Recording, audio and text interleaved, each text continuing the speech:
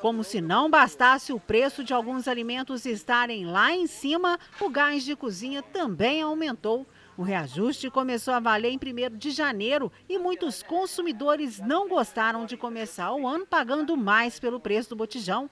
Renata, que é dona de um buffet, chega a gastar cerca de três botijões por mês e disse que o ano nem bem virou e já vai ter que encarar mais um aumento. A gente sente esse aumento, né? Acaba aumentando um pouco o preço dos produtos, né? Que fica impossível não repassar isso para os clientes. O cliente acaba pagando por esse preço, né?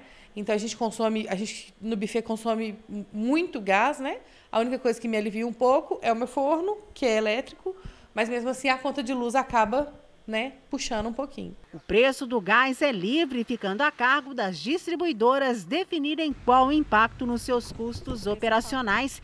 E apesar de Minas Gerais sofrer um aumento além de qualquer expectativa, os demais estados podem sofrer variações no seu preço em função desta última medida da Petrobras, que coloca o valor do frete flutuante de acordo com o preço do combustível no mercado internacional. Aqui em Lavras, o preço do gás de cozinha subiu em várias distribuidoras e o reajuste foi de R$ 4,00, a exemplo do restante do estado. Raul, que é dono desta empresa que vende gás, disse que é difícil não repassar esse aumento para o consumidor. O aumento, é, ele, ele vem, quando ele vem, ele vem ou da, Petro, da Petrobras, né, ou às vezes do governo. Esse agora é do governo, na verdade é o imposto que aumentou, né?